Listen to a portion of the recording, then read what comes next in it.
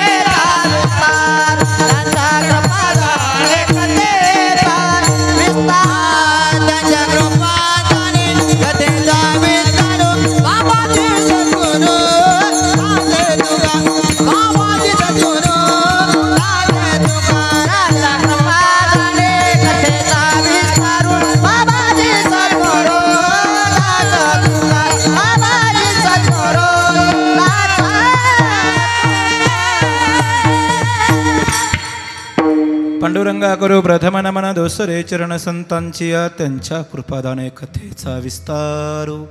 बाबाजी सद्गुरु दास तुका कायमा वाणी मानेल संतांसे रंजूया चित्तासे अपुलिया. या मनासी लागू हरिनामाचा छंद आवडे गोविंद गावयासे जयांचे किलिया स्मरण होय सकळ विद्येचे अधिकरण. तेची वंदो श्रीचरण श्री गुरूंचे ते नमस्कारून आता. ओम नमो ज्ञानेश्वरा. ज्ञानेश्वरा ओम नमो ज्ञानेश्वरा. ज्ञानेश्वरा ओम नमो ज्ञानेश्वरा ज्ञानेश्वरा.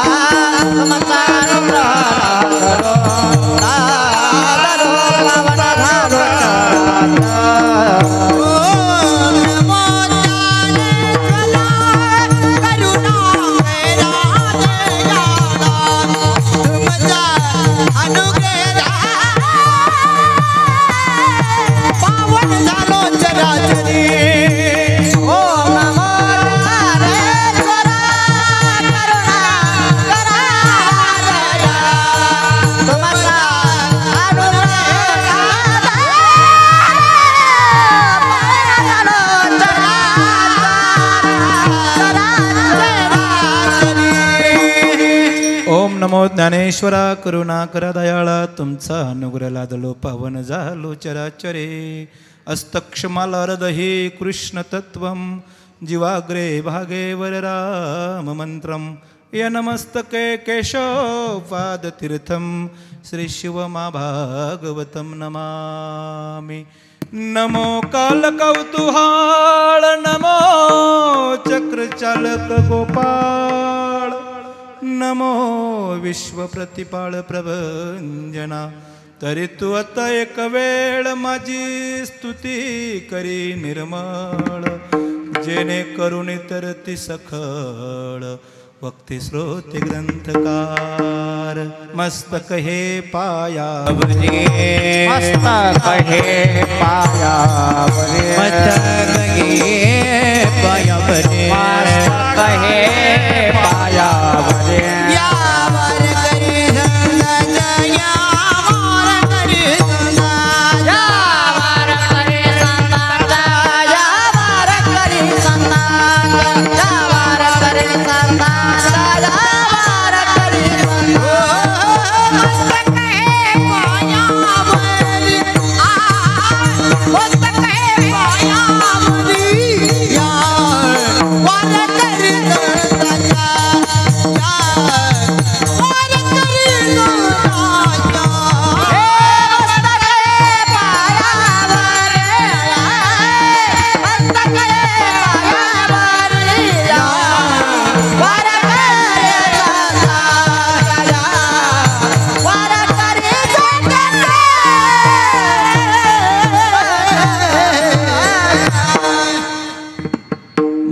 हे पायावरे या वार करे संतांची या काय कळे बाळा बाप सदैव दुबळा.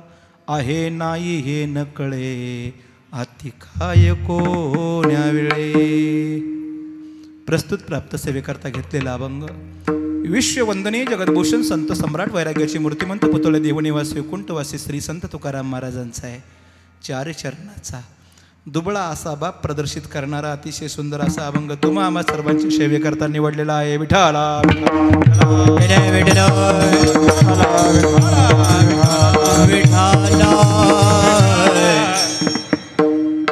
चंदना परी देह जिजविला.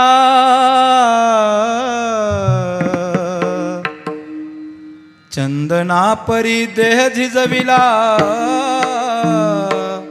बाबा तुम्ही कष्टातून वसंत फुलविला. पंचिरे पंचिर पंचिर रे देश बडा बेगाना. एक दिन बाबा तुम लोट के आना.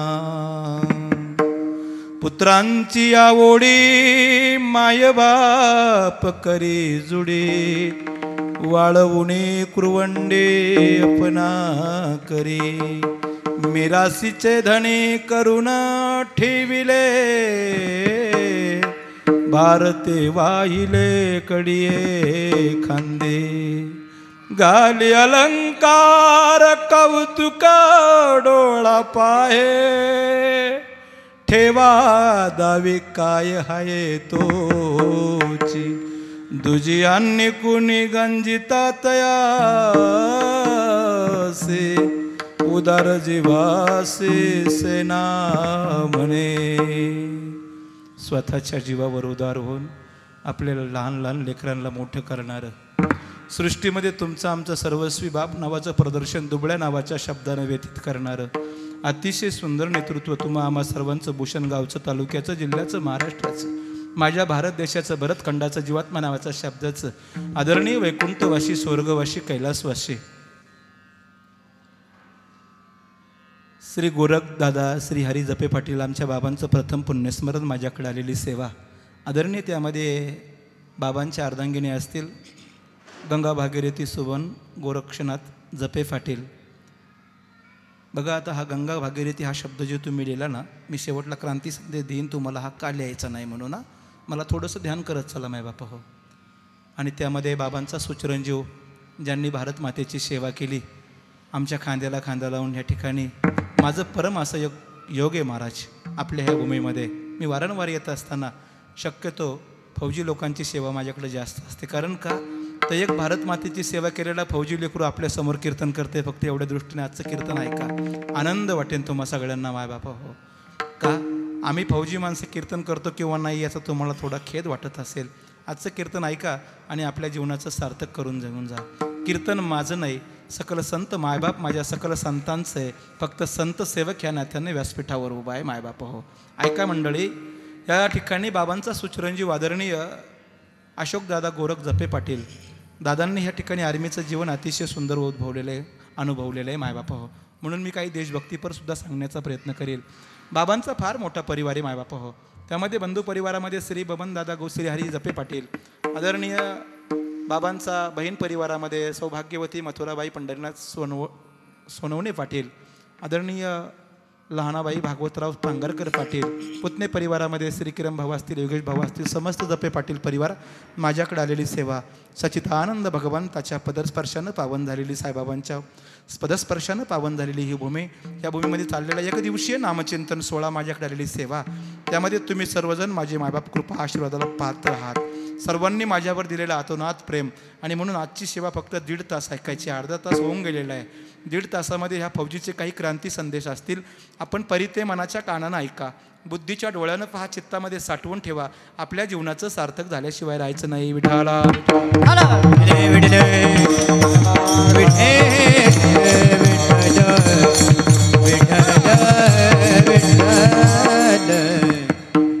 काय कळे बाळा.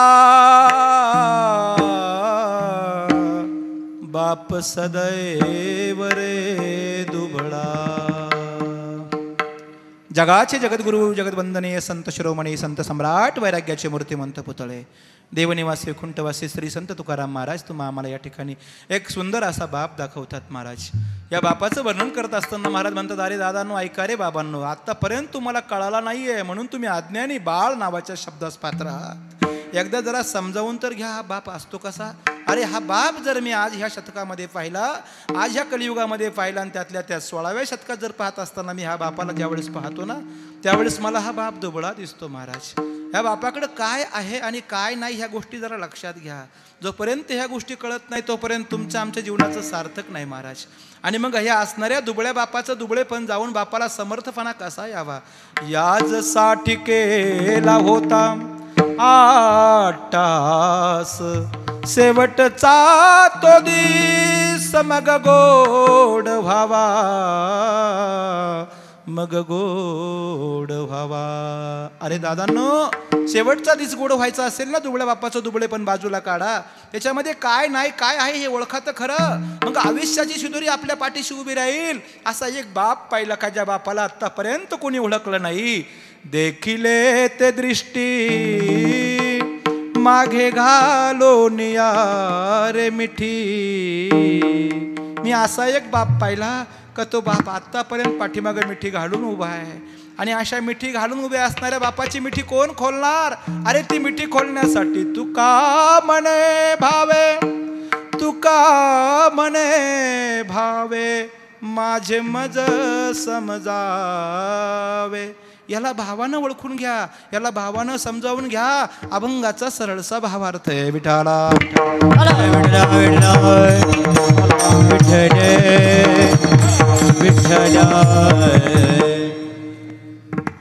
ह्या ठिकाणी यूट्यूब सर्चिंग चालू आहे. यूट्यूबला आपल्याला कीर्तन दिसणार आहे.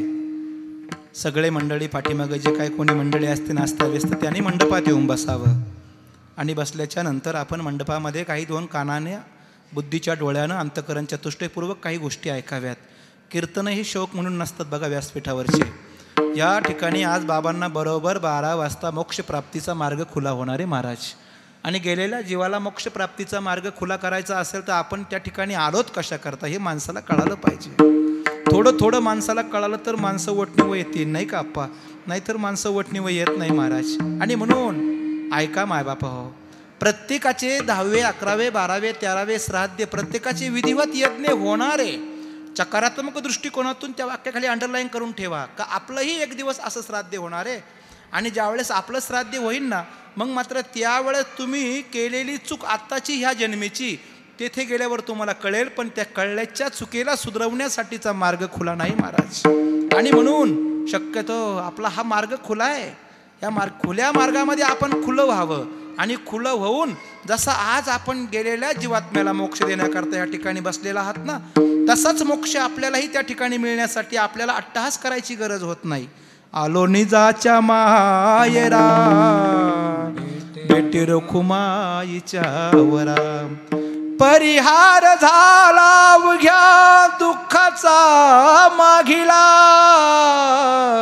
आलो निजाच्या माहेरा भेटी रखुमाईच्या वरा. तुका म्हणे वाणी.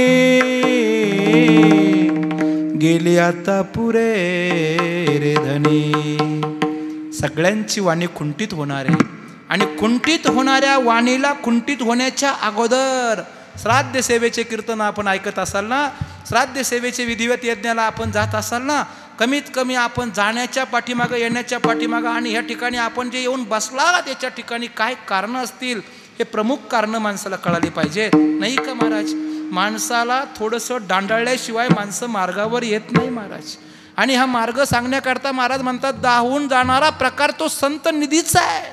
मार्ग दाहून गेले आधी दयानिधी रे संत ते. कसे असतात संत महाराज? सन्मार्गवर्ती इति संत विद्या विनय वृद्ध इति संत सवयव वर्तत इति संत हा इति संत। या संतांना ओळखत चला संतांचे संदेश ऐकत चला.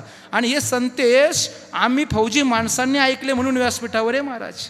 नाही तर आमचे फौजी माणसं शक्यतो दिसत नाही. दोन हजार आठ साली परमार्थामध्ये ज्यावेळेस पहिली पायरी ह्या फौजी लेकरानं पायाच्या रूपानं ओलांडायचा प्रयत्न केला ठेवायच्या रूपानं प्रयत्न केला आणि भगवंताची पताका ज्यावेळेस खांद्यावर घेतली ना त्यावेळेस युधिष्ठरू लढाई त्याही ठिकाणी होती आणि परमार्थाही लढाई तुरुच व्हावी. आणि म्हणून याच साठी केला होता अट्टहास. नाही का महाराज? आणि हा अट्टहास या फौजी लेकराचा आहे. म्हणून शक्यतो कीर्तन प्रवचन मनाच्या कानानं ऐकत चला का? जेणेकरून ते आपल्याला कुठेतरी उद्धारक ठरतील आपला उद्धार होईल. तुका म्हणे जन्मा आल्याचे सार्थक विठ्ठलाची एक देखली विठ्ठलाची एक देखली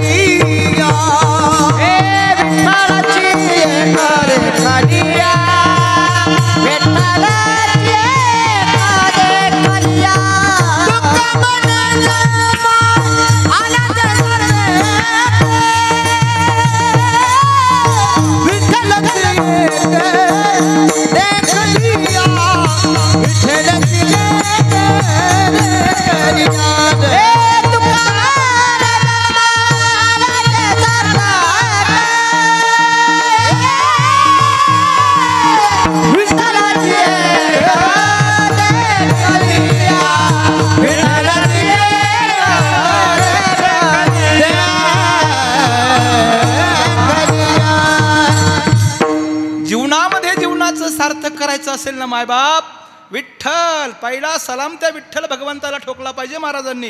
आणि म्हणून फौजी लेकराचा क्रांती संदेश नंबर वन टॉपर फर्स्ट आपण आपल्या जीवनामध्ये ब्रह्ममुहूर्तावर ज्यावेळेस उठतो ना त्यावेळेस पहिला सराम त्या विठ्ठल नावाच्या शब्दाला ठोकावा. देवा भरतखंडी नरदेहाची प्राप्ती होतो परमभाग्याची संपत्ती येऊन नरदेहा विचारावे सार उत्तमची गती तो एक पावेला. देवा ज्यावेळेस तू पाठवलं ना पाठवल्याचं जीवनाचं सार्थक देखल या नावाच्या शब्दातून परिपूर्णतेला नेणारा मी बघ तुझा एक वाळलेला पाठवलेला अरे तुझ्याच नावाचा सांगड आहे. हा आणि हा सांगडा ज्यावेळेस आपण त्यासा अशी कबुली देतात ना त्यावेळेस मग बघा काय होतंय? महाराज म्हणतात अरे पावे फळ आपण असी आपल्याला फळ प्राप्त होतं महाराज. त्याला नाही होत फळ प्राप्त त्याला कसली गरजही नाही. हिंडन मुंडन साधनांची आटाआटी करून ते पावतही नाही महाराज. हा ते तर आहे आपल्यापाशी. महाराज म्हणतात देव आहे देव आहे हृदय हृदय मंदिरे. शोधून पागे हृदय मंदिरे. पाये पाये हृदय देव आहे देव आहे देव आहे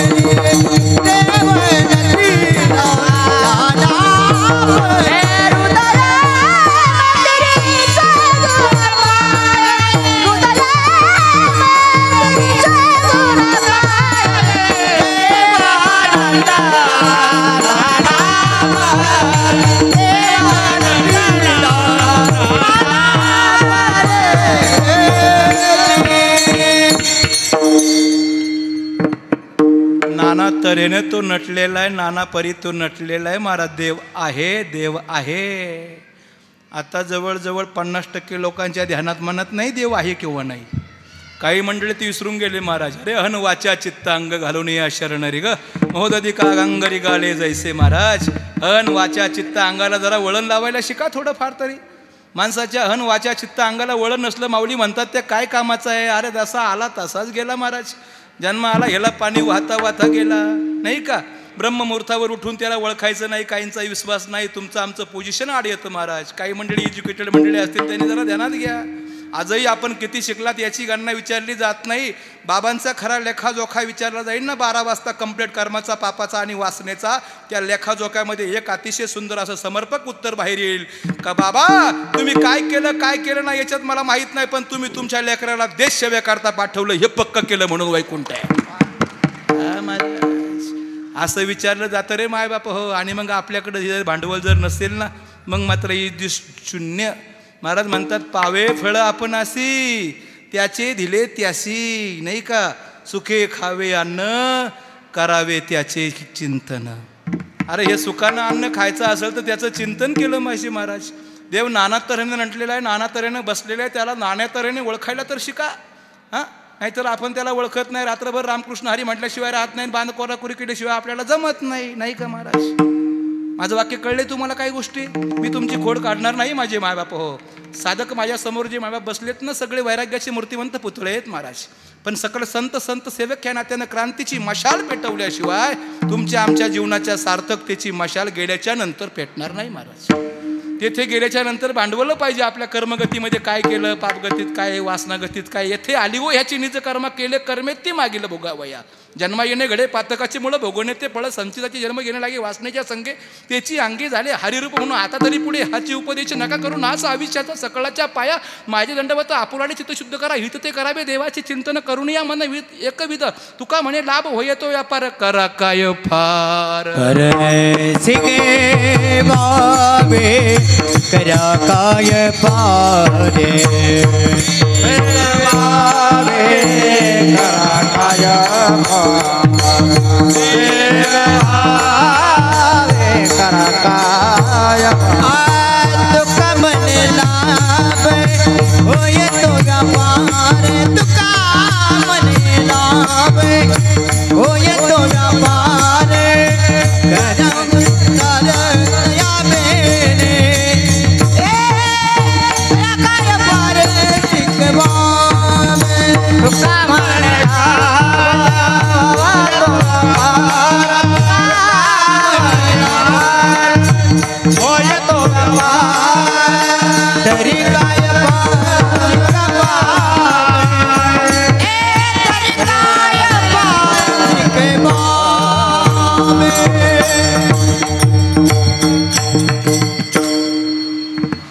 शिकवण्याची गरज नाही जास्त सांगण्याची गरज नाही. लाभाचा व्यापार करायचा असेल तर सुखाचे संगती सुख लाभ झाला. आनंद कोंदला मागे पुढे संगती पंगती देवासवे घडे नित्या नित्य जोडे त्याची साच समर्थांचे घरी सकळ संपदा. इथपर्यंत फक्त जरा ध्यानात घ्या. तो समर्थ आहे. कर्तुम अकर्तुम मान्यता कर्तुम शक्तीचा चाहता आहे. विठ्ठलची एक देखलिया. त्याला जरा प्राप्त करण्यासाठी बोला पहा करा विठ्ठल येणे सोसे म्हण झाले आव बरी. परत माघारी घेऊ नका बंधनापासून उकळल्या गाठीत येतं आले मिठी सावकाश. तुका म्हणे देह भरीला विठ्ठल विठ्ठल नावानं भरा. याचं स्मरण करा. ब्रह्ममुहूर्तावरती उठा. जीवनाचं सार्थक करा. आता तरी पुढे हाची उपदेश. संतांचा संत उपदेश आहे महाराज. का? तर समर्थ कर्तुम अकर्तुमे असा तो. तुम्हा आम्हाला देण्याकरता बसलेला आहे. आणि तो देण्याकरता जर बसत असेल तर त्याचं जे काही देण्याची पद्धत ती आपण स्वीकारली पाहिजे महाराज. जोपर्यंत तुम्ही आम्ही ती देण्याची पद्धत स्वीकारत नाही तोपर्यंत तुमचं आमचं असंच चालणार आहे महाराज. अरे ज्या मंदिरामध्ये तुम्ही आम्ही जातो आयुष्याचा विद्येचा यशाचा आणि बलाचा वाटा मागतोय ना महाराज. त्या मागण्याच्या अगोदर महाराज म्हणतात अरे दादा तो एक नेमका आहे असा कोण सृष्टीचा चालक मालक? हृदय मंदिरामध्ये भरलेला आहे भरगच्छपणानं तो दिसतोय त्याला ओळखून घे. परमात्मा दोन्ही बैसोनी ऐक्यासनी दयाची हृदय भवनी विराजिती. सर्व गटी राम देहादेही एक. सूर्य प्रकाश कसं असं रश्मी नाही का? आणि म्हणून तो करतुम अकर्तुम अन्यता करतुम शक्तीचा. आता अठरा पर्वे भारती ते राबे कृष्णार्जुन वाचोक्ती आणि जो अभिप्रायो सातो शती एक लाची नवमी. म्हणून तरी अवधान एक वेळ दिजे. मग सर्व सुखाशी पात्र होई जे हे प्रत्योत्तर माझे उघड उघड आहे का? माऊली म्हणतात दादा सहा शास्त्र चार वेद अठरा पुराण उपमहापुराण जेवढं सृष्टीमध्ये अध्यात्म नॉलेज आहे सगळ्याचा एकत्रित संग्रह केला माऊलींनी. आणि म्हणतात आता तरी इथून पुढे जरा ठेस लागली तर ध्यानात घे दादा. ब्रह्ममुहूर्तावरती तुला आयुष्य विद्या यश आणि बल प्राप्त करायचं असेल तर विठ्ठल नावाचा ब्रह्मांडाचा एक नायक आहे. त्या नायकाच्या चरणाशी तू ज्यावेळेस जाशील ना मग मात्र त्याचं दुबळे पण बाजूला जात नाही जाईल. आणि जोपर्यंत तू जात नाही तोपर्यंत ते दुबळं बाजूला दुबळे पण बाजूला जात नाही. अरे दुबळे पण बाजूला जात नाही म्हणून तुला ते कळत नाही. म्हणून काय प्रश्न अभंगाच्या पहिल्या चरणात?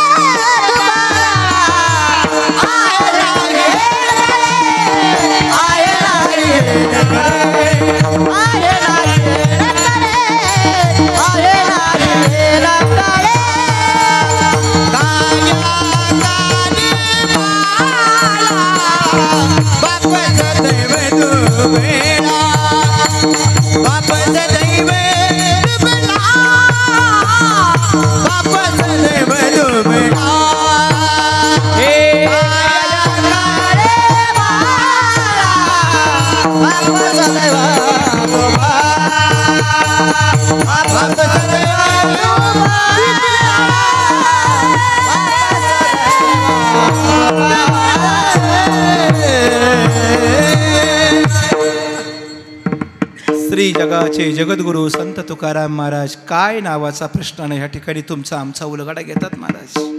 काय? किती तुम्ही आम्ही अज्ञानी महाराज? या ठिकाणी जगद्गुरु श्री संत तुकाराम महाराज काय नावाच्या शब्दानं आपल्याकडे बोट दाखवतात ना? मग आपलं जे उणिवा पण आहेत ना ते बाहेर काढायला शिका महाराज. अभंग साधा आहे सरळ आहे सोफा आहे सुटसुटीत. आहे श्राद्ध सेवेचं कीर्तन आहे म्हणून थोडक्यात सांगतोय लक्षात ठेवा. मानसाचं ह्या पिंडाचं पिंडार्जन जर व्हायचं असेल तर हा पिंड पदचरणी समर्पण केल्याच्या नंतरच पिंडार्जन होतंय महाराज. नाही तर पिंडार्जन होत नाही. मग एक एक योनी कोटी कोटी फेरा मनुष्य देह वारा मग लागे वीस लक्ष दस लक्ष अकरा लक्ष मानवा भितरी चार लक्ष. नामा म्हणे तेव्हा तयाचा नरदेह केला मुडे. महाराज म्हणतात या नरदेहाचा मोडा करून टाकला तुम्ही आम्ही. श्री संत नामदेव महाराजांची संत वचनाची भाषा आहे महाराज. एक एक योनी कोटी कोटी फेरा फिरावा लागतो महाराज तुम्हा आम्हाला. मग तुमच्या आमच्यासाठी जर श्री संत जगाशी जगद्गुरु तुकाराम महाराज काय शब्दानं या ठिकाणी प्रश्न करत असेल तर काहीतरी आपलं अज्ञान आहे महाराज. आपल्याला आत्तापर्यंत काही गोष्टी समजल्या नाही महाराज. हे बघा सगळ्यांनी लक्षात ठेवा महाराज. आपण जर आज या ठिकाणी हे जगत जग जगद्गुरु श्री संत तुकाराम महाराजांचं संत वचन ऐकत असाल ना तर एक लक्षात ठेवा जे महाराजांना जे आपलं अज्ञानपण दिसले त्याला बाजूला करा. ज्यांनी अज्ञानपण बाजूला केलं या पिंडाचं पिंडार्जन करण्यासाठी नेमकं काय लागतंय हे महत्त्वाचं आहे महाराज. नाही का? काय लागत नाही. भांडवल थोडंच लागतंय. तुकाराम महाराजांना विचारा. महाराज म्हणतात माई जगदंबा इंद्रायणीच्या काठी उभा राहिलो आणि काशी ईश्वेश्वराच्या दिशेकडे नजर मारली. ज्यावेळेस काशी ईश्वेश्वराकडे मी पाहिलं त्यावेळेस आपल्यासारखे काही आज्ञानी पामर जे काही लोक आहेत ना आज्ञानी पामर ज्यांना बुद्धीचा अंश थोडा कमी पण पोझिशन जास्त नाही कळालं का महाराज? हां. तुमच्या भाषेमध्ये सांगू सोप्या भाषेत? कळालं का?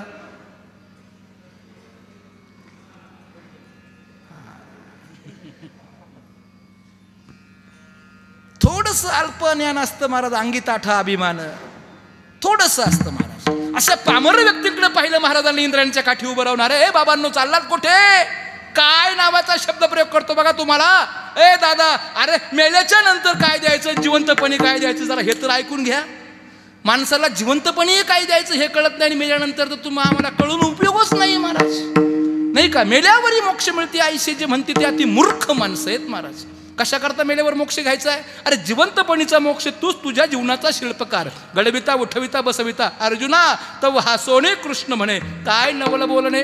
कवनासी काय दिजले कवणे अद्वैथी येथ रणांगण तुमच्या आमच्या जवळ आहे. लढाई फक्त ओरिजिनल करण्यासाठी ओरिजिनल फौजी होऊन जा. आपली लढाई यशस्वी महाराज.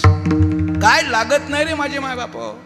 बघा वारकऱ्यांकडे ज्या अर्थी महाराजांनी नजर चुकीनं वाटक हा बोट दाखवलेले त्यांचं अज्ञान पण बाहेर काढतायत ना तेच अज्ञान पण तुमचं आमचं सुद्धा आहे. हा, महाराज म्हणतात काय काय काय कळे? तुम्हा आम्हाला काय कळालं? महाराज काय कळालं तुम्हा आम्हाला? फक्त ह्या ठिकाणी तुम्ही आम्ही विधिवत यज्ञ केला म्हणजे मोक्ष मिळाला का? नाही रे माझे मायबाप हो. विधिवत यज्ञ केल्याच्यानंतर श्राद्धेचा मोक्ष त्या ठिकाणी बाराच्या नंतर कम्प्लिटली पूर्ण तीनशे पासष्टव्या दिवशी दिला जातो. तो विधिवत यज्ञ तीनशे पासष्टव्या दिली दिवशी दिल्याच्या नंतर कम्प्लिटली परमगती चालू होते. परंतु ती परमगती चालू होण्यासाठी जेवढं तुम्ही आम्ही ह्या ठिकाणी सार्थकतेचा प्रयत्न करतोय ना तेवढाच प्रयत्न त्या जीवानं सुद्धा जीवन जगत असताना केला पाहिजे. कळालं का माझं वाक्य? आपण जीवन जगत असताना जोपर्यंत हा जीव चैतन्य ह्या पंचमहाभूताच्या वस्तीमध्ये आहे तोपर्यंत आणि एकदा का हा सटकून गेला का मग मात्र आपला खेळ?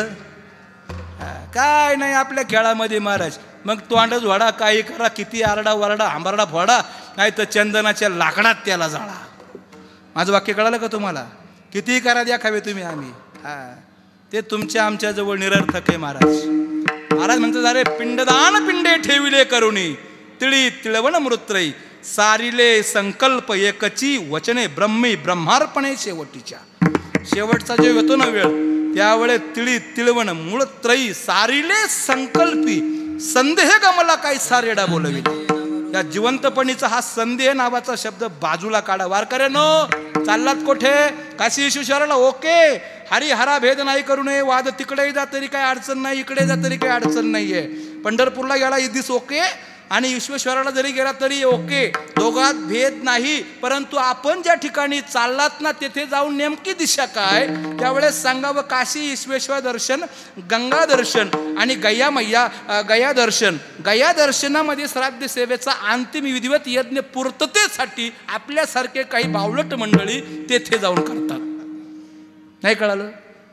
काही बावलट म्हटलं मी. लक्षात आलं तुमचे शब्दप्रयोग महाराज म्हणतात अरे हिंडन मुंडन साधनांची नाही रे आटा आठी चंद्रभागे स्नान विद्यतो हरिकथा समाधान चित्त सर्व काळ तुका म्हणे काला वैकुंठी दुर्लभ विशेष हा लाभ संत संगे. हा संतांमध्ये लाभे संतांच्या संगतीत लाभे. संत आहे तरी कोण? तुम्ही संत माय. तुम्ही संत माय बाप कृपावंत तुम्ही संत माय बाप कृपावंत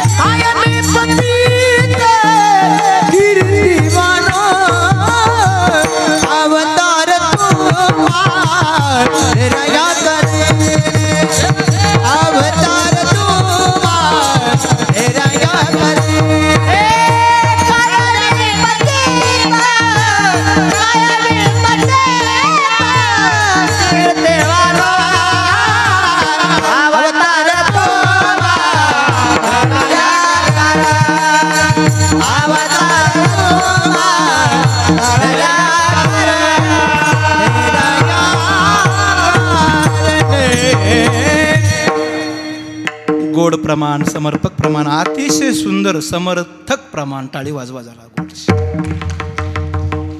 आणि थोडंसं आवडलं ना प्रमाण वगैरे काही टाळी वाजवत चला.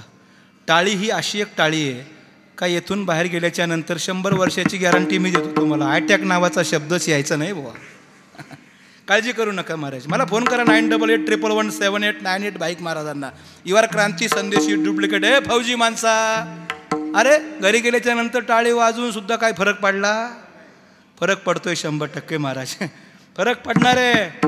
मको कहा डुंडू मैतो तेरे पाश में खोज होय तुरंत मिल जाऊ एक एक पलक की तराशी में. पापणी पडायच्या आत कबीर महाराज म्हणतात तुझं असणारं शंभर वर्षाचं आयुष्य तुझ्या दरबारात आहे बघ. पण त्याच्यासाठी जरा काहीतरी गोष्टी प्रामाणिकपणे नाही का महाराज? आता हे अप्रामाणिक जे काही मंडळी ईश्वेश्वराला चाललेले पुंडलिकासारखे आता पुंडलिक हा एक प्रामाणिक व्यक्तिमत्व आहे. परंतु अप्रामाणिक ज्या दिशेने काशी शिवशहराला चालला कसा चालला? अप्रामाणिक हा शब्द ज्यावेळेस येतो ना त्यावेळेस असं का जेवढं ज्ञान ज्ञात करून सुद्धा ज्ञानाचा उपयोग केला नाही ज्ञान ज्ञात करून ज्ञानाचा उपयोग न करणाऱ्या मंडळींना अप्रामाणिक असा शब्द वापरतात. विवेक सागर ग्रंथ सांगतो का जेवढं आहे परंतु ते कसं वापरावं वापरत असताना नेमकं काय पद्धतीत द्यावं कसं घ्यावं इथपर्यंत कळतं परंतु ते कळत असताना ते ओळत नाही त्याला म्हणतात अप्रामाणिक. आलं का लक्षात? आपल्याला सगळं कळतं महाराज. काय कळत नाही असं काहीच नाही. प्रत्येकाला वाटतं साईबाबांच्या दर्शनाला जावं प्रत्येकाला वाटतं पांडुरंगाच्या दर्शनाला जावं प्रत्येकाला वाटतं सगळं आईबापाचं काय असेल ते करावं. मग विधिवत यज्ञ उभारावा राहावा बाबांना त्या ठिकाणी मोक्ष मिळावा. हे सगळं प्रत्येकाला वाटतं. पण प्रत्येकच जण वाटतं इथपर्यंत खरं आहे. परंतु करतोय कोणत्या भावानं इथपर्यंत मात्र खोटा आहे. आलं का माझं वाक्य लक्षात? चला. खोटेपणाचा काहीतरी देखावा करून चाललेला पुंडलिक ज्या अर्थी एका बाजूला आई आणि बाप नावाचा देव धरतोय आणि जे ओरिजिनल देवतेला वर घ्यायला पाहिजे त्याला वर न घेता दुसरा देव वर घेतोय. कळालं वाक्य माझं? वाक्य कळालं माझं? ज्याला वर घ्यायला पाहिजे खांद्यावर त्याला वर घेत नाही पण ज्याला घ्यायला नको त्याला घेतल्याशिवाय आपण सगळे मंडळी खांद्यावर घ्यायला आजपासून त्या द्यावाला शिका. माझा विरोध नाही. पत्नीला कोणी खांद्यावर घेऊ नये असं नाही. आम्ही फौजी माणसंसुद्धा घेतो महाराज. मी कोणाला काही बोलत नाही लक्षात ठेवा. हा पत्नीला कोण म्हणतं खांद्यावर घेऊ नये अरे तिला असं खांद्यावर घेऊन नाचावं असं बागडावं महाराज हाय हाय हाय हाय हाय. संध्याकाळच्या परही बघा आपल्याला किती मस्त जेवण मिळते महाराज. तुम्ही आम्ही तिला आर्यातुऱ्याची भाषा करतो आणि संध्याकाळचं हजा झाल्याशिवाय राहत नाही मग.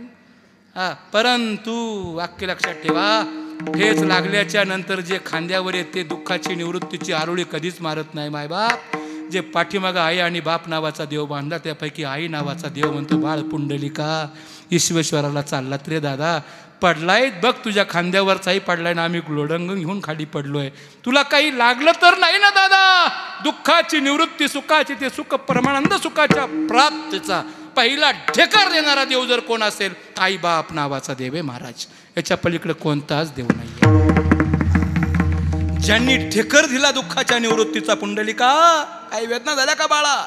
त्याच वेळेस पुंडलिकानं पाहिलं काशी ईश्वेश्वराकडे नाही खरी शक्ती मी असंची शक्ती फक्त येथेच आहे. कारण का? जिथपर्यंत मला देव कळायला पाहिजे तिथपर्यंत कळलाच नाही आत्तापर्यंत का? तर जगाचा पहिला बाप जरी तो असला तरी जगाच्या बापानं दुसरा बाप सांगितला एकपणे मी उभा झालोय चैतन्याची शोभा झालोय. अनाथांचा नाद झालोय. एका जनार्दने एकपणे उभा चैतन्याची शोभा शोभत असे. कोणाच्या पायावर आहे? माय जगन्नाथ बाप जगन्नाथ. अनाथांचा नाथ जनार्दन. घेईन मी जन्म ह्याच साठी देवा. तुझी चरण सेवा. तुझे चरण सेवा. तुझे चरण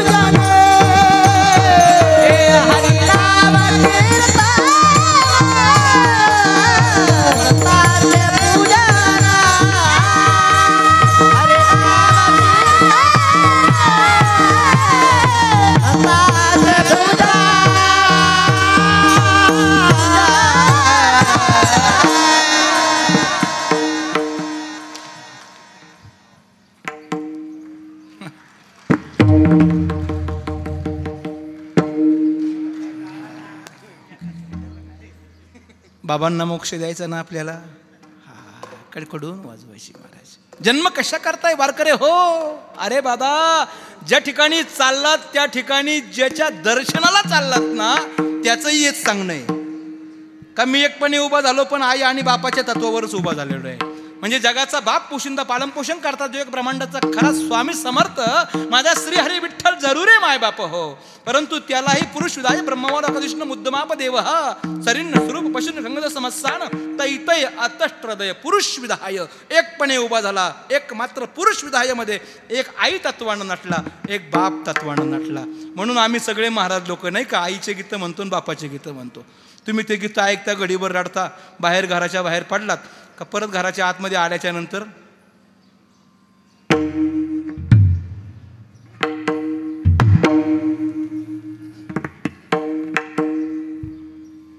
एक गोष्ट सांगू का गोड वाक्यात?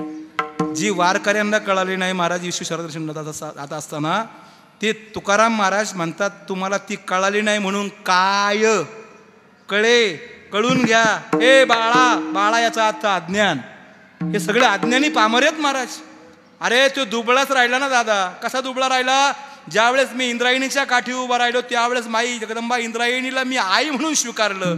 आणि आई म्हणून स्वीकारल्याच्या नंतर आई तत्वानं तेरा दिवसाच्या नंतर मला जे माझं होतं ते तत्व बाहेर आणून दिलं. तुम्ही एकदा स्वीकारणी करा आपल्या स्वतःच्या असणाऱ्या खऱ्या देवांची. माणसं येते स्वीकारणी करत नाही रस्त्यानं प्रवास केल्याशिवाय राहत नाही आणि धडकल्याशिवाय जमत नाही.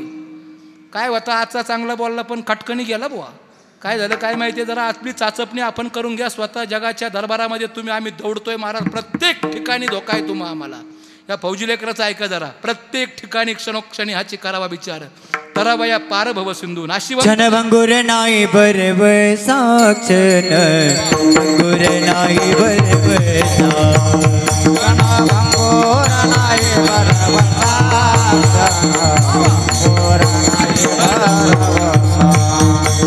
सावध तुडा माये आशा सावध तुडा माये आशा वारे सावध माये आशा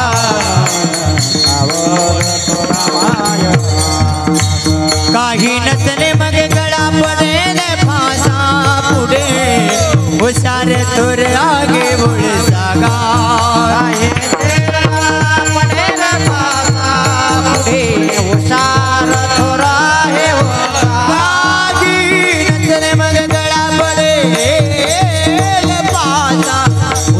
ধরে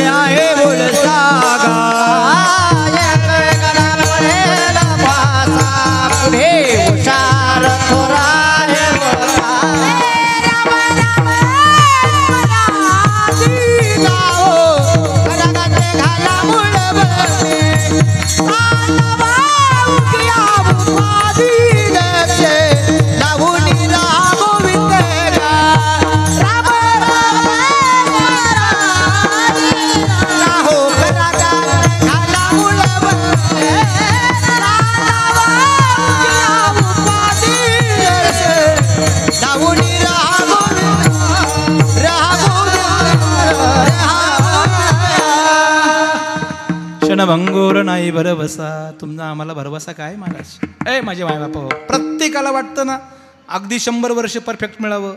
ओके आजपासून देऊन टाकलं तुम्हाला महाराज. प्रत्येकाला वाटतं ना मला विद्या यावी. तुम्हाला विद्याही पण देऊन टाकली महाराज. का तुमचे आमचे लेकरं एवढ्यासारखे फिरतात? का तुमचे आमचे लेकरं हातापायाच्या काड्या मोड्या डिजेत मारतात उड्या रात्रभर उड्या मारतं महाराज? नाही कळलं का तुम्हाला वाक्य? हे लेकरं डिजेत पण उड्या मारणार नाही हातापायाच्या काड्या होणार नाही त्यांना जेवढी पाहिजे तेवढी बुद्धी मिळणार आहे महाराज. का? तुम्हा आम्हाला यश मिळत नाही. आता अडीच हजाराला दोन दिवसापूर्वी होतं आता पंधराशे रुपयावर आलं. पाच दिवसांनी ते कदाचित हजारावं येईन हजारानंतर ते कदाचित दोनशेवं येईन पन्नासावं येईन आणि फेकून द्यायची पाळी येईल. नाही कळालं तुम्हाला? टोमॅटो. का तुम्हा आम्हाला यश मिळत नाही महाराज? का तुमचा आमचा जो असणारा टोमॅटोचा पिकाचा इति इतिवत असणाऱ्या सगळ्या सामुग्रीचा वाटा यशाच्या शिखरापर्यंत जात नाही? का जात नाही? का तुम्हा आम्हाला बॉडीफिकेशन चांगलं मिळत नाही? का बल मिळत नाही? का तुमच्या आमच्या वेदना जास्त होत आहेत? का तुम्हा आम्हाला सगळं हे सतावतंय? याच्या पाठीमागं काहीतरी जरा थोडा उलगडा करून तर पहा ना. हे बघा आम्ही फौजी माणसं इदिष्ट्रू त्रिकालबाधी सत्य आहे महाराज. हां दैनंदिन व्यवहारामध्ये ज्या वेळेस भरती आम्ही जशी होतो ना रिटायरमेंटला आम्ही तसेच असतो. नाही कळालं का वाक्य? रिटायरमेंटला सुद्धा आम्ही तशीच असतो. फोर्टी एट नाईन इयर्स चालू आहे माझं एकोणपन्नासावं वर्ष महाराज. कोणी म्हणणार नाही हा फौजी एकोणपन्नास वर्षाचा आहे. आलं का लक्षात? आणि एकोणऐंशी वर्षाला मला असाच पहा मी असा दिसेल तुम्हाला. तुमचा आशीर्वाद असला तुमचा आशीर्वाद असला तर. आत्ताही पण अशोक भाऊला बघा ना तुम्ही महाराज. आमचं फौजी माणूस. कसा आहे महाराज? असं वाटतं का? आत्ताही असं वाटेल का आपली एखादी आहे जवळपासची ती त्याला देऊन टाकू? एवढा तरुण तगडा आहे का नाही महाराज? किती तरुण तगडा आहे पाहिलं का अशोक भाऊ? वाटतं का हा रिटायरमेंट झालेला एक फौजी असेल बो असं वाटतं का आपल्याला? हे का? हे का?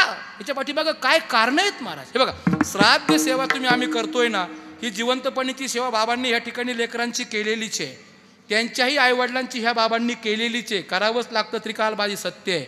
परंतु गेल्याच्या नंतरचा जो काही व्यवहार होतोय ना त्या व्यवहारामध्ये जीवतो वाक्यकरणात मृताय भुरी भोजनात गया पिंड दानश्य त्रिभी पुत्रश्य पुत्रदा उत्तम प्रकारच्या मुलाचं कर्तव्य असं आहे साधक हो तिकडे चाललात ना इकडे बघा पिंड दान पिंडे ठेविले करुणी पिंड पदा वरी दिला पुलिये करी माझे झाले गया वर्जन. फिटले पितरांचे ऋण केले कर्मांतर बोंब मारली हरिहर तुका म्हणे माझे बार उतरले. आज अशोक भाऊचं ओझं उतरणार आहे महाराज. आज या कुटुंबाचं ओझं उतरणार आहे सगळं. आता ओझं उतरत असताना तीनशे पासष्टव्या दिवशी हा यज्ञ का ठेवला जातो याच्या पाठीमागही कारणे जरा ऐकत चला. काही काही फॅशनेबल मंडळी मला बऱ्याच ठिकाणाहून बरेच फोन येत असतात. यूट्यूब सर्चिंग चालू आहे म्हणून काही क्रांती संधी देऊन जातो बघा. ज्या वेळेस श्राद्धेचा विधिवत यज्ञ ज्या तारखेला धरला जातो ना महाराज त्या तारखेला कदाचित एखाद्या वेळेस आपल्या असणाऱ्या कुटुंबाच्या आजूभोवती कोणी जर एखाद्या वेळेस एक्सपायर झालं तर तो विधी कॅन्सल केला जातो. विधी कॅन्सल करण्याच्या पाठीमागं जरा पार्श्वभूमी तपासत चला. नेमकं आपण कशाच्या कारणास्तव करतोय? त्याच्या पाठीमागं एकच शब्द आपल्या मुखातून बाहेर पडतो का महाराज फक्त सुतक आम्हाला पडलं? काय पडलं? सुतक. तुमच्याकडे म्हणतात ना सुतक. हां? मग हे सुतक पडलं हे कसं पडलं? बरं कितपत पडलं? याचा काय कधी आढावा आपण घेतला का? याचा आढावा घेत चला ना महाराज. तुम्हा आम्हाला सुतक कितपत लक्षात ठेवा. देहवस्तीतून जेव्हा पिंजऱ्यातून जो बाहेर निर्माण झालेला आहे त्याच्याकरता सुतक दहा दिवसाचं आहे. जे देहवस्तीतून प्राप्त झालेले नाही त्यांच्याकरता सुतक हा शब्दच नाही. माझं वाक्य कळलं? जे देहवस्तीतून प्राप्त झालेले आहे, म्हणजे मुलं बाळा असतील तेवढ्यांकरताच फक्त दहा दिवसाचा विधी आहे. त्याच्या व्यतिरिक्त आपल्या वाड्यातलं मरू द्या. नाही तर आपल्या वाड्यातल्या आजूबाजूच्या परिसरातलं मरू द्या नाही तर एखाद्या आपल्या आडनावातलं मरू द्या. सुतक नावाचा शब्द कधीच धरायचा. तुम्ही म्हणाल महाराज पुरावा द्या. जरा गरुड पुराण वाचा ना थोडंसं महाराज. त्याच्यामध्ये एक पर्याय प्रत्येक ठिकाणी सांगितलेला आहे महाराज. बघा ज्यावेळेस देहधारी पिंजऱ्यातून जो जातोय त्याने दहाव्या दिवशी विधिवत यज्ञ करावा. देहधारी पिंजऱ्याच्या व्यतिरिक्त जे काही परिसरामध्ये आपल्या असणाऱ्या नाते संबंधित नात्यानं जे काही नटलेले आहेत ना सवंगडी त्यांच्याकरता घरी आल्याच्यानंतर वस्त्रस्नान त्याच उंबऱ्याच्या बाहेर राहून करावं आणि घरामध्ये प्रवेश केल्याच्यानंतर सर्वस्वी असणारं जे काय आपल्या पाठीमागं जे अपशकून शब्द आहेत सुतक नावाचे एकही आपल्याबरोबर राहणार नाही हे गरुड पुराण सांगते महाराज. तरी तुम्ही आम्ही काय मंडळी म्हणतात महाराज या ठिकाणी आम्हाला सुद्धा कार्यक्रम कॅन्सल केला. अरे तीनशे पासष्टव्या दिवशी त्या असणाऱ्या जीवाला मोक्ष द्यायचा असतो महाराज. तीनशे चौसष्ट दिवस एक जीव वैकुंठाच्या बाहेर पडलाय. त्याला काय कमी आहे महाराज? लक्षात ठेवा.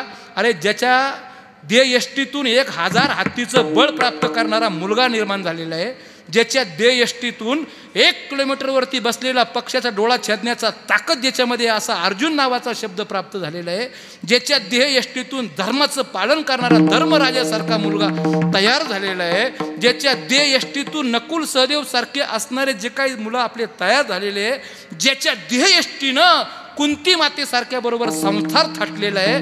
त्याला सुद्धा एक वर्षभर म्हणजे तीनशे चौसष्ट दिवस वैकुंठाच्या बाहेर पडावं लागलं महाराज.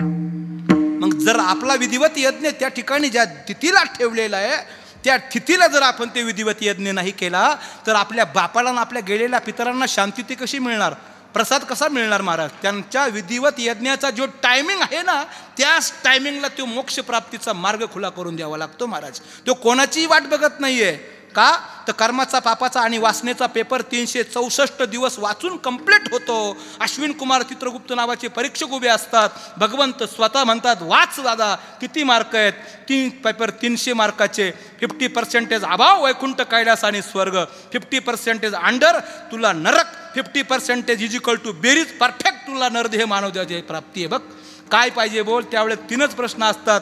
पन्नास टक्क्याच्या वर वैकुंठात सूट पन्नास टक्केच्या खाली नरकात जा पन्नास टक्के बराबर कम्प्लेट माणूस म्हणून जन्माला ये. आपल्याला हे सगळं सिस्टम ठेवलेलं आहे पण आपण त्या दिवशी करत नाही. मला सुताक पडलं मग मला पंधरा दिवसांनी परत माझ्या बापाचं वर्ष श्राद्ध घालावं लागेल.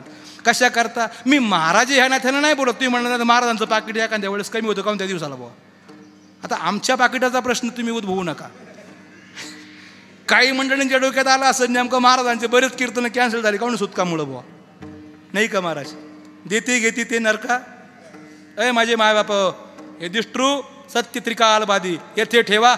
येथे आपला प्रसाद सत्याचा अवश्य आयुष्य रूपानं ठेवलेला आहे. हा, आलं का लक्षात? म्हणून हे विधिवत यज्ञ करण्याच्या पाठीमागं जे तीनशे चौसष्टव्या दिवशी एवढ्या असणाऱ्या सिस्टममध्ये बाहेर पडला आहे त्याच पांडवांनी तीनशे पासष्टव्या दिवशी वर्ष श्राद्ध विधिवत यज्ञ आपल्या बापाचा घातला. वैकुंठाचा दरवाजा खुला झाला. आणि इकडं पाच पांडवांना म्हणावं असं यश मिळालं महाराज. नाही का? मग ह्या कुटुंबाला आज जर यश प्राप्त करायचं असेल काय मिळतं महाराज यश? महाराज म्हणतात हा जो दुबळा बाप आहे ना या दुबळ्या बापाला दुबळं नका समजू महाराज. अरे याच्याकडे काय आहे आणि काय नाही जरा विचारा. आहे नाही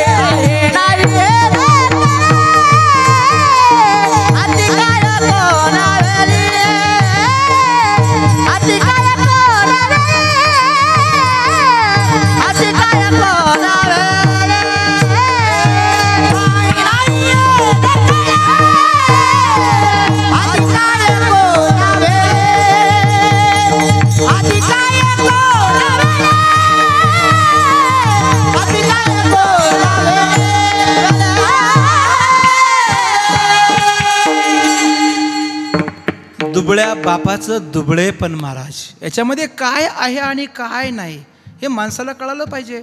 आता भगवंताकडं काय आहे आणि काय नाही? महाराज म्हणतात हाती काय कोण्या वेळी? कोणत्या वेळेला हातामध्ये काय येईन सांगता येत नाही अर्जुना. फक्त द्वैत अद्वैत मधला फरक रणांगणावरती तुला ओळखायचा आहे बस. तसे तुम्ही आम्ही सगळे अर्जुन महाराज. तुम्हा आम्हाला जर द्वैत अद्वैत मधला फरक ओळखता आला का शंभर टक्के तो जगाचा बाप धावून आल्याशिवाय राहत नाही? बघ तुझ्या हातामध्ये काय कोणत्या वेळेला काय देईन सांगता येत नाही महाराज. आणि म्हणून जरा एज्युकेटेड मंडळी जे काय असतील ना दहाव्याचा अकराव्याचा बाराव्याचा तेराव्याचा पहिला दुसरा चौथा पाचवा साडेपाच साडेपाच महिने विधीत हा शास्त्रात नाही आपल्याकडे घडत नाही ना?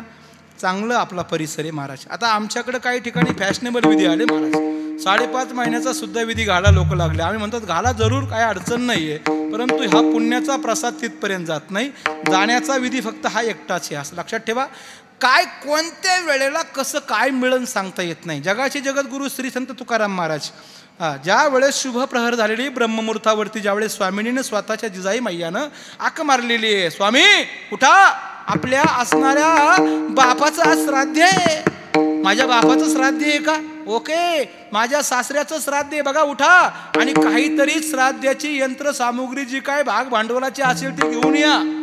ज्या वेळेस असं मैयानं पुकारलं आणि जगाचे जगद्गुरु श्री संत तुकाराम महाराज बापाचं श्राद्ध आहे म्हणून ज्या वेळेस घराच्या बाहेर पडले पडता क्षणी आपल्या असणाऱ्या परिसरामध्ये यंत्रसामुग्री जी काय लागेल तेवढी भाग भांडवलाची जी काय असली विधिवत यज्ञाला लागते तेवढी ती मिळवण्याकरता पैसा तर पाहिजे ना.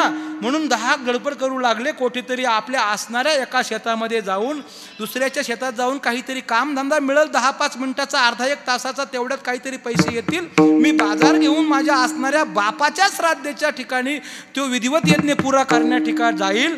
यासाठी ज्यांनी अट्टहास करून दोन चार तास पाच सहा तास काम केलं त्या कामाच्या मोबदल्यामध्ये जेवढी घटिका श्राद्धेच्या असणाऱ्या विधिवत यज्ञाला पुण्याच्या काळा वेळात पाठवावी लागते. तो काळ वेळ टळून जाऊ नये म्हणून पांडुरंगानं ज्यावेळेस तुकाराम महाराजांकडे पाहिलं त्यावेळेस भगवंत स्वतः म्हणतात आता माझा भक्त काय बाहेर निघत नाहीये. काळ वेळ तर संपत चाललेला आहे. म्हणून स्वतः भगवंतानी घराजवळ यावं तुकाराम महाराजांचं रूप प्रदर्शित करावं आणि असणाऱ्या ब्रह्मवृंदांना भोजनाची व्यवस्था करावी.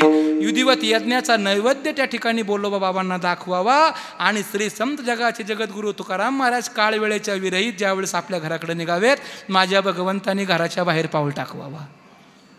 ए माझे माय बाप हो. अरे तुम्ही आम्ही फक्त काय आणि कोणत्या वेळेला काय मिळेल याचा विचार करू नका. पण जे कर्तव्य दिले ना ते मात्र करा महाराज. बघा आज जे श्राद्ध या ठिकाणी घालतात ना हे कुटुंब या कुटुंबाला चार गोष्टी मिळतात. तिकडे पुण्याचा वाटा प्राप्त होतोच परंतु इकडेही चार गोष्टी मिळतात. जगाच्या कोणत्याही दरबारात जा या फौजीचं चॅलेंज आहे तुम्हाला जर आयुष्य मिळायचं असेल विद्या प्राप्त करायची असेल यश प्राप्त करायचं असेल बल प्राप्त करायचं असेल तर आईबापाची सेवा आणि गेल्याच्यानंतर त्यांचे विधिवत यज्ञ ज्यांनी केले त्यांनाच ह्या चार गोष्टी मिळतात. बाकीच्या लोकांना ह्या चार गोष्टी मिळत नाहीत. लिहून ठेवा परिपूर्ण लिहून ठेवा. आपल्या पॉकेटमध्ये लिहून ठेवा. आपलं काय आहे ते पोझिशन दरबारामध्ये घेऊन पळा. कितीही पळा. पण ज्यावेळेस ह्या चार गोष्टी आपल्याला पाहिजे असतील ना तर मायबापाची सेवा तीच खरी काशी तुका म्हणे मायबापे अवघी भगवंताची स्वरूपे. त्यांची सेवा महत्वाची आहे महाराज. ज्यांनी केली त्यांना विचारा त्यांना किती विद्या आहे. ज्यांनी केली त्यांना विचारा किती आयुष्य आहे. ज्यांनी केली त्यांना विचारा किती यश मिळतंय महाराज. एक गोडवाक्य बोलू का? हा फौजी माणूस आहे. दोन हजार आठ साली ज्यावेळेस परमार्थाची पताका बोलली या साधावा गोष्टी परिणय हातवटी काही त्याची शुद्ध भक्तिभाव नामाचे चिंतन याची मुख्य कारण परमार्थ वासना ओढाली तृष्ण मावळली कल्पना गळाली अनकृती काम क्रोध निमाले ठाईची सर्व आनंदाची सुट्टी झाली आठव नाठव गेले भावा भाव पिकली या सेंद कडूपण झाले तैसे आम्हा केले पांडुरंगे म्हणून व्यासपीठावर आलो तेव्हापासनं आत्तापर्यंत काय मिळालं असं मला विचारा महाराज. माझ्या दरबारामध्ये आयुष्य माझ्यासमोर नाचतंय मला माहिती आहे शंभर टक्क्याचं आयुष्य माझ्या भगवंताने माझ्याकरता दिलेलं आहे महाराज. माझी विद्या माझ्यासमोर नाचते मला माहीत आहे नाहीतर फौजी माणूस कीर्तन करू शकत. आता नाही म्हणायचं असं. आम्ही फौजी माणसं डिपार्टमेंटचे सर्व माणसं आमचे जे खाकी वर्दीवाले सगळे माणसं ज्यांनी भारत मातेची सेवा केली तुमची सेवा केली मायबाप हो. अरे नकळत त्यांच्या चरणाशी जाऊन जरा त्यांना विचारा काय असते सेवा.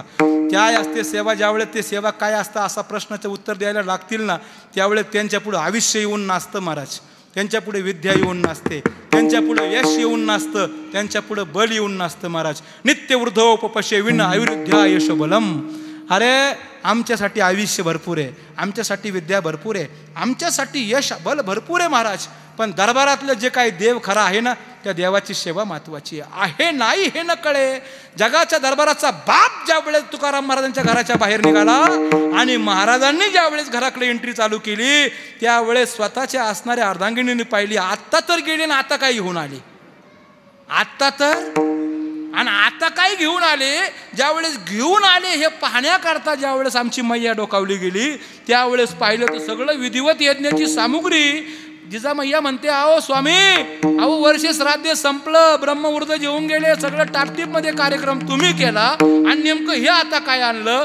जगाच्या दरबारात माझ्या श्री संत तुकाराम महाराजांनी हात जोडले आणि भगवंताला सांगितलं देवा अखंड हरिनाम चिंतन तुझं माझ्या मुखाते म्हणून हा परिणामी बघ मावा. ए माझे माय बाप हो.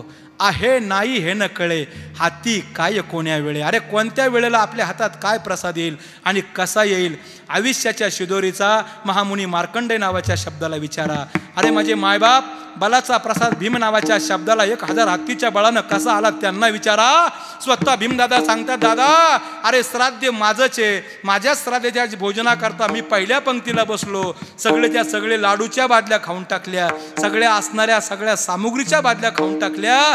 आणि ज्यावेळेस बातमी माझ्या आईला कळाली आईनं एक लाडू दिला फक्त दाशीच्या हातात आणि तोच लाडू माझ्या हातात पडला एक लाडू खाल्ला तृप्तीचा ढेकर बाहेर पडला एवढा आई बाप नावाचा देव मोठा आहे महाराज. त्याच्या पलीकडे काय नाही काय नाही महाराज. एज्युकेटेड मंडळी शाणे सुरते मंडळी शिकलेले मंडळी सगळ्यांनी ध्यानात ठेवा आपल्याला ह्या चार गोष्टी मिळणार आहे काळजी करायचं कारण नाही. सचिदानंद भगवान साईबाबाच्या दरबारामध्ये आपण हात माझे माय बाप हो सदाचिदान आनंदाचं दर्शन घ्यायचं असेल जीवनामध्ये शंभर वर्षाच्या आयुष्यामध्ये कालखंड पुरा करायचा असेल विद्या यश आणि बल प्राप्त करायचा असेल जिवंत असतील मायबाप तर त्यांची सेवा करा. आणि गेले असतील मायबाप ब्रह्ममुहूर्तावरती उठा गोधडी आपल्या अंगावरती घ्या आणि ब्रह्ममुहूर्तावरती मायबाप नावाच्या आठवणींना उजाळा द्या. पंधरा मिनिटं आईबापाचं ध्यान करा गोधडी बाहेर काढून आपला प्रवास चालू करा. शंभर वर्षाचं आयुष्य विद्या यश आणि बलाचं आयुष्य आपल्या करता रणांगणामध्ये भरपूर आहे मायबाप. भरपूर आहे भरपूर आहे. आणि म्हणून महाराज म्हणतात मला असे लोक दिसत नाही का त्या लोकांना माझ्या ह्या असणाऱ्या समर्थ देवाची मिठी खुलली नाही? अभंगाचं तिसरं चरण. देखील ते दृष्टी. देखील ते दृष्टी. देखील ते दृष्टी. देखिले ते दृष्टी.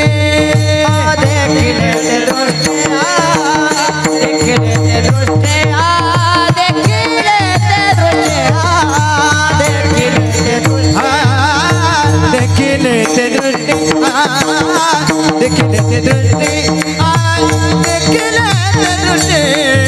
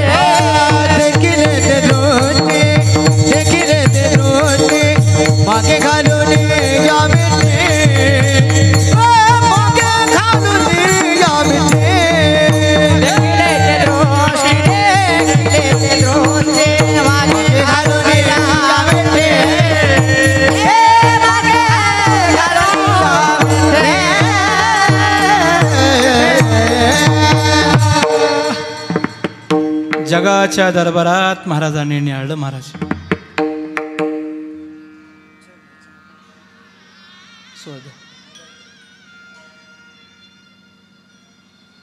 मी कोणाच्या भावना दुखावणार नाही. कोणाच्याच भावनांना हात घालणार नाही. आम्ही फौजी माणसं महाराज. काय कळते आम्हाला? बापाचं वर्ष श्राद्ध आहे महाराज. ऐका.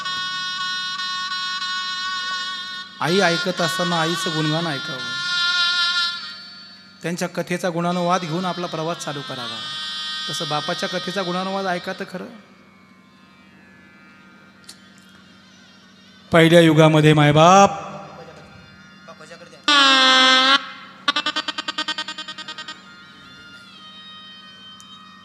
ज्या वेळेस परशुराम भगवंताने आरोळी मारली शरण जात असताना माझ्या परशुराम भगवंतांनी सांगितलं आई नावाचा देवाच्या असणाऱ्या कमरेला कंटाळलं बाप नावाच्या देवानं. आज्ञा केली बाळ परशुराम तुझ्या आईच्या शिरांचा आशीर्वाद छान करून टाक. एक क्षणाचा विलंब न लावता. परशुरामानं तलवार घेतली आईच्या शिराचा आशीर्वाद छान केला.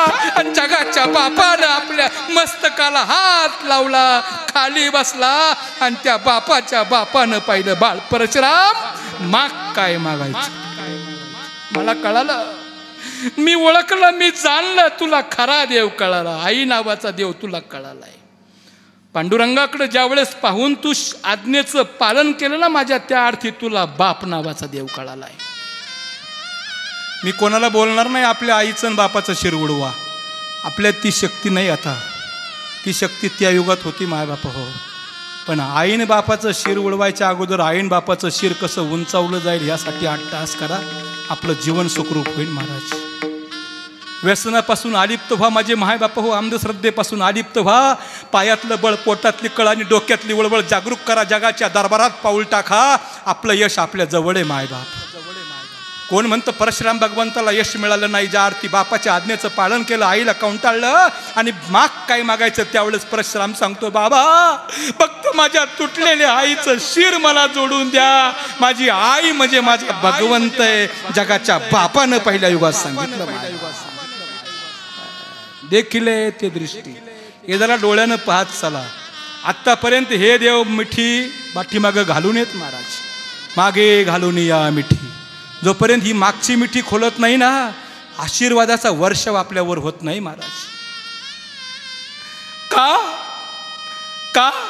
चौदा वर्षाचा वनवास स्वामी. मला मागायला तुम्ही आई ह्या नात्यानं बाराच्या आत सांगितलं होतं. आणि बाराच्या नंतर चौदा वर्षाचा वनवास मागणारी मी ही तुमची आई होते. मग त्या दृष्टीनं जर पाहाल तर कोणती आई दोषी? मला सांग भगवंता मर्यादा पुरुषोत्तम पूर्व रामचंद्र. सांग काही काही मातेचा प्रश्न आहे महाराज. दुसऱ्या युगामध्ये. प्रत्येक माणसं म्हणतात काही काही आई निष्ठूर आहे. निष्ठूर नाही आहे त्या आईला कळत होतं मागच्या जन्मात काय होणार आहे पुढच्या जन्मात काय होणार आहे. म्हणून ती आई सांगते मला माहीत होतं देवा तुला हेच करायचंय ना? जे करायचंय तू तू केलं आता. कमीत कमी असणारा प्रसाद तरी माझ्या वाट्याला काय ठेवलाय? ज्या वेळेस भगवंताला काही काही नाही विचारावं मायबाप ज्या वेळेस युद्ध संपावन भगवंताने उत्तर द्यावं मातृरेश प्रसाद. बघ आई तुझ्या झोळीत टाकला सगळा प्रसाद. कोणता? अधो राम तपवना दिग्मम हत्वा अमृत कांचनम वैदेयी हरण जटायुतरण सुग्रीव संभाषणम बाली निर्दलम समुद्रम लंका दानम पश्चात रावण कुंभकर्ण हनन यतवधी रामायणम माय बाप हो संपलं दुसरं युग। तिसरं युग यदा यदाई धर्मश्य आई बापासाठी देव आले। आणि महावैष्णव माऊली ज्ञानोबराया सांगतात सकळ तीर्थांची अधुरे। चिये का माता पितरे अरे माझे मायबाप या देवांना जरा एकदा भावानं तर समजावून घ्या भावानं. तुका म्हणे भावे तुका म्हणे भावे तुका म्हणे भावे तुका म्हणे Bhave.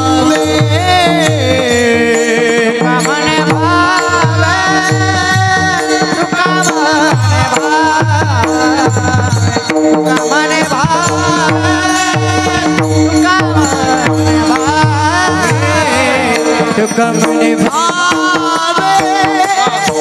and live, come and live, come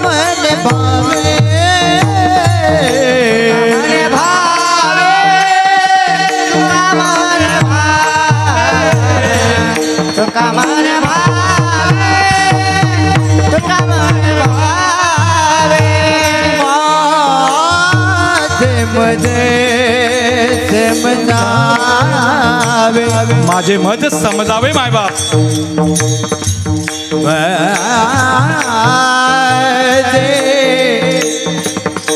मा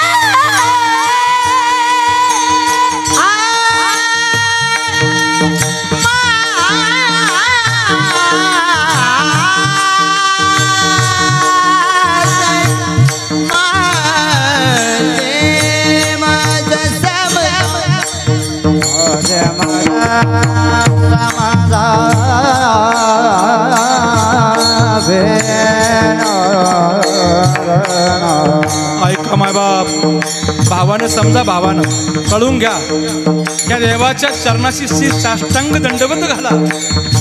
रात्रंदिवस त्यांचं भजन पूजन करा रे मायबाप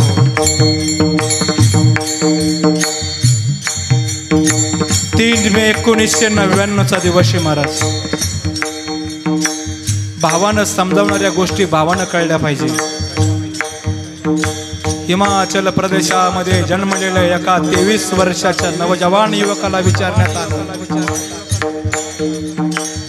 सव्वीस जुलै. पाचच दिवसाचं अंतर आहे पुढचं फक्त आपला. सव्वीस जुलै ज्या दिवशीची आठवण तुम्हा आम्हाला तुमच्या आमच्या. साडे बाराशे हुतात्म्यांच्या आठवणींना उजाळा देऊन जाते ना महाराज? त्यामधली भावानं समजवणारी पहिली कारकीर्द कोणाची असेल? फक्त माझ्या हिमाचल प्रदेशामध्ये जन्मलेल्या तेवीस वर्षाच्या नवजवान युवक. कॅप्टन सौरभ कालिया नावाच्या व्यक्तिमत्वाची. ज्या व्यक्तिमत्वानं सांगावं श्री क्षेत्र आळंदीमध्ये जायचो त्या व्यक्तिमत्वानं बोलावं श्री क्षेत्र देहूमध्ये जायचो. इंद्रायणीच्या काठी उभा राहायचो. आणि इंद्रायणीच्या काठी उभा राहून सहज माझ्या माऊलींची कीर्ती ऐकायचो. आणि महाराष्ट्राचा राजा राजाधिराज छत्रपती शिवाजी महाराजांच्या जय घोषाचा नामकरण विधी करायचो ना. त्यावेळेस स्फूर्ती यायची तीच स्फूर्तीची वेळ आज आहे.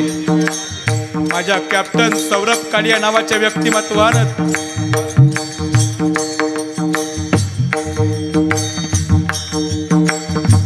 निरोप ऐकल्याच्या नंतर ज्या वेळेस पहिली घोषणा ठोकली अरे साडे सतरा हजार फूट उंचीच्या प्रवासावरती पाकिस्तान नावाचा असणारा शत्रू जर आपल्या आईच्या शिरावर येऊन बसत असेल तर त्या शत्रूला मारण्यासाठी मी किती सज्ज व्हायला पाहिजे. पाच जणांना घेतलं रायफल टाईट केली बॅक पिट्टू टाईट केला. कंबर बेल्ट आवळला जय हिंद नावाचा नारा घोष केला. आणि महावैष्णव माऊली ज्ञानोबा यांच्या घोषणेतून छत्रपती शिवाजी महाराज की आणि ज्यावेळेस पहिला पाऊल टाकला साडे सतरा हजार फूट उंचीच्या प्रवासामध्ये महाराज म्हणतात फक्त भावानं प्रवास करणारा माझा सैनिक तो मायबाप आई बापाची सेवा देवाची देशाची सेवा समाजाची सेवा साधू संतांची सेवा आणि माझ्या असणाऱ्या भारत मातेमध्ये हरेक नाथ रूपानं जडलेल्या नात्याची सेवा करणं हे तुमचं आमचं परम कर्तव्य आहे गेला हात पाय तोडून डोळे इंद्रिय सगळे काढून ज्यावेळेस दिल्लीच्या तख्त पटलावरती माझ्या कॅप्टन सौरभ कालियाचा मृतदेह पाठवला त्याच वेळेस खरा असणाऱ्या विजयाचा नारा करणारा आणि त्रेपन्न फुटाच्या अंतरावरून भाला फेकून बंदुकीच्या रायफलीतून छप्पन्न गोळ्या घेऊन जाणारा तोच जो कोणी होताना ते कॅप्टन विक्रम बद्रा नावाचं व्यक्तिमत्व परम विजेता ठरला गेला सव्वीस जुलै एकोणीसशे नव्याण्णव. काय होतं यांच्याकडं? महाराज म्हणतात अरे भावानं पाहिलं भावानं माझे माझा समाधान.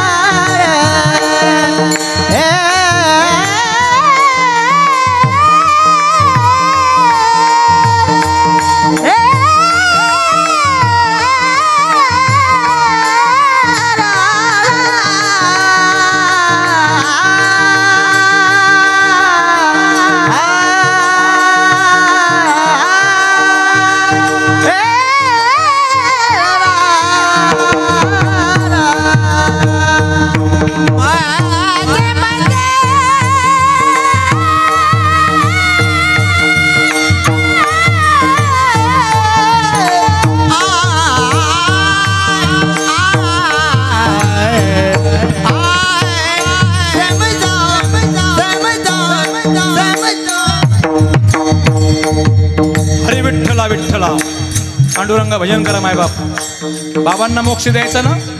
अहिंसा व्रतम पुष्पम पुष्पमिंद्रिया निग्रहम. सर्व पुष्पम दया बुधे शांती पुष्पम विरशीयते.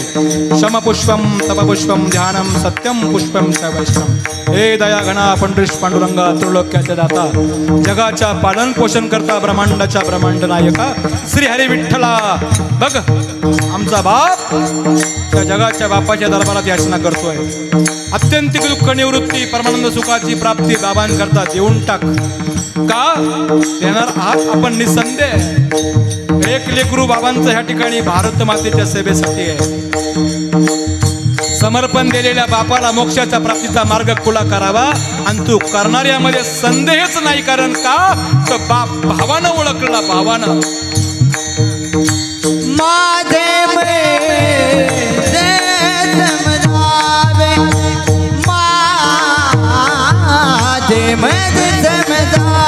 समजावे आगे लागी येणा केले आगे लागी येणा केले येणा केले विठोबार मागे। विठोबा विठोबार कुमागे।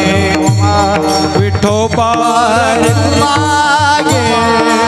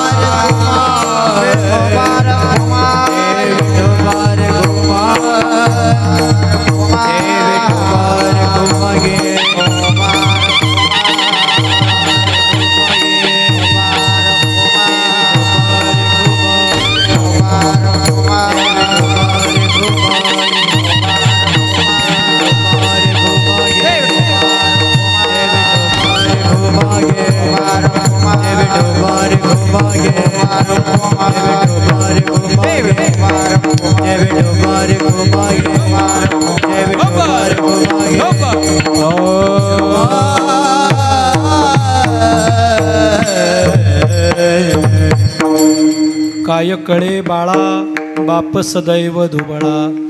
दुबळ्या असणाऱ्या बापाचं दुबळे पण बाजूला खरा. त्यांना ओळखा. जगाच्या बाजारात तीन बाप एक देव देवानं सांगितलेला मायबाप दुसरा बाप. आणि ज्यांनी हे दोन बाप सांगितले ते संत नावाचा तिसरा बाप. तिघांवरती विश्वास ठेवा. बाकीचा विश्वास बाजूला करा. प्रवास यांच्याच नावानं नाचू द्या. शंभर टक्के यशाच्या शिखरावर जातो. महाराज म्हणतात आहे नाही हे न कळे हाती काय कोण्या वेळे कोणत्याही वेळेला कसंही कोणत्याही स्थितीमध्ये आयुष्य विद्या यश आणि बल आपल्याकरता ठेवलेलं आहे. फक्त यांची सेवा महत्त्वाची आहे. आता ती होत नाही म्हणून देखील ते दृष्टी मागे घालून या मिठी. पाठीमागं ते असेच मिठी घालून उभे आहेत. महाराज म्हणतात त्यांची मुठी मी खोलली आणि मी खोलल्यामुळं तुझी चरण सेवा देवा हीच आहे. हे मी छाती ठोकपणे समाजाला सांगितलं आणि म्हणून माझं पिंड तेथे नाही. महाराज म्हणतात माझे झाले गया वर्जन पिटले पितरांचे ऋण केले कर्मांतर तुका म्हणे माझे भार उतरले ओझे. पण कधी? पिंड पदा वरी दिला आपुलिये करी. माझ्या हातानं यांची मी सेवा केली आणि म्हणून माझं जे काय पिंडाचं पिंडार्जन आहे ते कोठे झालं? देहूमध्ये झालं. म्हणून शक्यतो आपण तिकडं जाऊ नका असं नाही. तीर्थाला जरूर जा. पण तीर्थाला जायच्या अगोदर आपल्या घराच्या आतमध्ये दोन तीर्थ आहेत. त्यांची सेवा करा. ते तीर्थ आपले खरे आहेत महाराज. हां त्या तीर्थांच्या चरणाशी अनेक प्रकारचे तीर्थ लोटांगण घालतात. ते सगळे वाट पाहतात. कशा करता हिंडण मुंडन तिकडं करतो दादा अरे माझ्या घरात तुझ्या घरात मी बसलो आहे फक्त एकदा येथे येऊन जरा दर्शन तर घे. आणि एक गोड वाक्य बोलतो बघा मी दोन हजार आठ सालापासून व्यासपीठावर ज्यावेळेस आलो ना त्यावेळेस माझी हीच चिकाटी होती. मला हवं ते फळ मिळालं महाराज. मला. मी बाकीचं तुमचं सांगत नाही पण मला. आजही माझी first Sukanya government M B B S कॉलेजमध्ये अगदी टॉपर कॉलेजमध्ये एम बी बी एस करते. दुसरी सुकन्या अगदी टॉपर कॉलेजमध्ये एम बी बी एसला आता जाईल. आणि एक चिरंजीव तो एम बी बी एसमध्ये जाईल. हे कसला प्रसाद आहे? हा का प्रसाद आहे? आणि कुठून मिळतो महाराज? कुठून मिळतो? बघा ना. तुम्ही आम्ही प्रयत्न करत चला फक्त. तुमची आमची जी काही असणाऱ्या विकाराची सचोटी ती बाजूला करा. आणि जसे असतील ना आपले मायबाप त्यांना कवंटाळले महाराज त्यांना कवंटाळून एकदा त्यांना मिठी मारा. आणि मग बघा अवघ्या तुटी संकोचा सगळ्या तुटी आपल्याला मिळतात महाराज महाराज म्हणतात हे यांना जरा भावानं समजावून घ्या. तुका म्हणे भावे माझे मज समजावे. जसं तुकाराम महाराजांनी भावानं ह्या देवाला समजावलं समजून घेतलं तसं आपणही घ्या. माई बाप केवळ काशी तेने न जावे तीर्थाशी. पुंडलिका काय केले? प्रब्रह्म उभे ठेले तैसा होई सावधान. हृदय धरी नारायण नाही का? असं ह्या हृदयामध्ये ह्या नारायणाचं स्वरूप बघत चला यांना कमटाळत चला यांची सेवा करत चला. बाबा तुमच्या व मूर्तिवाणी या जगात मूर्ती नाही. अनमोल जन्म दिला ओ बाबा. तुमचे उपकार फिटणार नाही. बालपणी मी केळ केळिता दिसतो तो ताना. बाबा अमृताऊनी गोड प्रेमाचा तुम्ही पाजलास पाना. बाबा तुमच्या ह्या उपकाराची मला कधी जाणीव झाली नाही. बाबा तुमच्या मूर्तिवानी ह्या जगात मूर्ती नाही. तळपत्या उन्हात रख रख त्या रानात राहिलीस माझ्यासाठी तू ग कष्टाच्या घामात. राहिलीस माझ्यासाठी तू ग कष्टाच्या गावात कधी मिळेल मुठभर घास कधी घडे काळा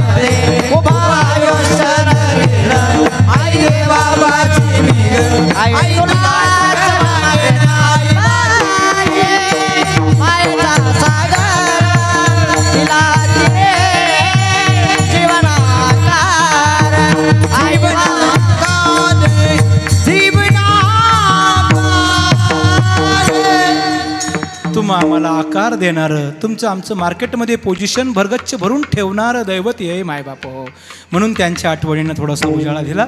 जाता जाता थोडं भगवंताचं भजन करू. आणि दोन मिनटं मी त्यानंतर माझ्या देशभक्तीपर बोलेन. देशभक्तीपर तुम्हाला सांगेल काय असते देशभक्ती? आज या ठिकाणी अशोक भाऊंनी जी देशभक्ती केलेली आहे महाराज त्यासाठी जोरदार अशी एक टाळी वाजवा आपण सगळ्यांनी मायबाप हो बघा देवासाठी जे माणसं जगतील ना त्यांना कधीही आश्रय द्या. संतांसाठी जे जगले ना त्यांच्याकरता आपण जगा.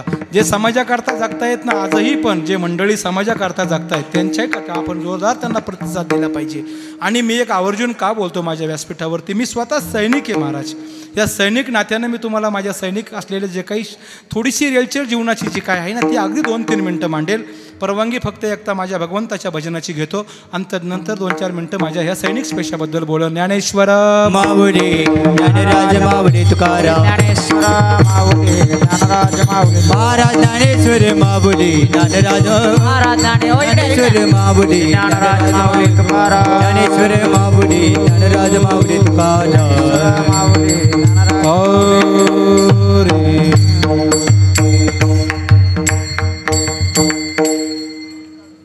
सैनिक सैनिक काय असतो मायबाप?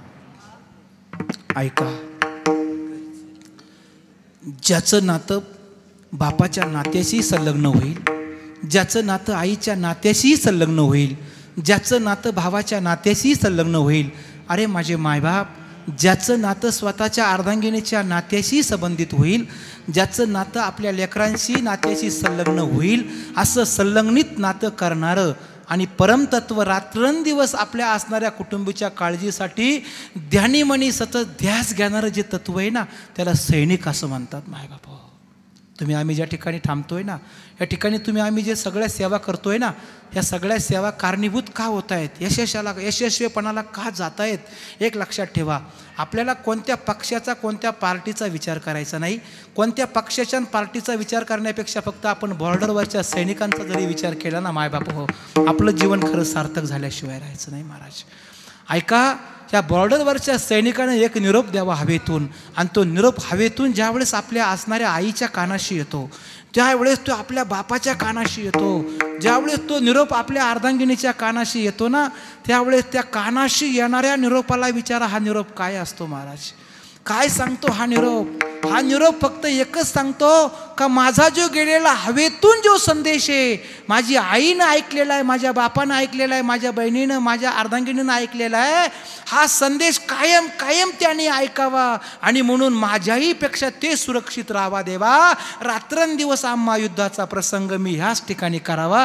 हे सांगणारं तत्व हवेतून निरोप पाठवणारं सैनिक असतं मायबाप. हो दुसरं तिसरं कोण नसतं रे माझे मायबाप. हो आणि म्हणून एक गोड वाक्य बोलेन पा